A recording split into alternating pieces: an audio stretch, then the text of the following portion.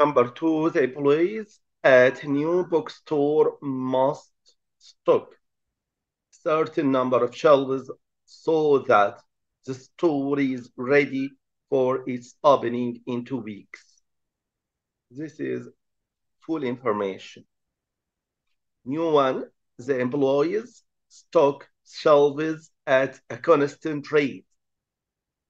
So uh, the employees start to work in a constant rate throughout the two weeks.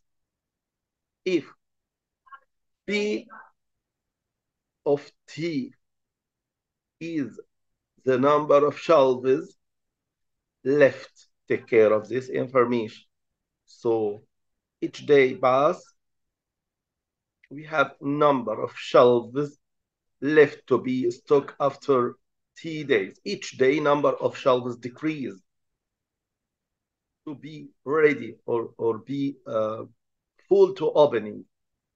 So which of the following statement best describes the function? This word tell us this is linear. Okay, this uh, two words or phrase or word, one word tell us constant rate is a linear function.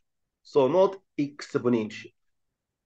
And shelves left, the number of uh, shelves are left decrease every day. Every day they make more numbers of shelves are ready.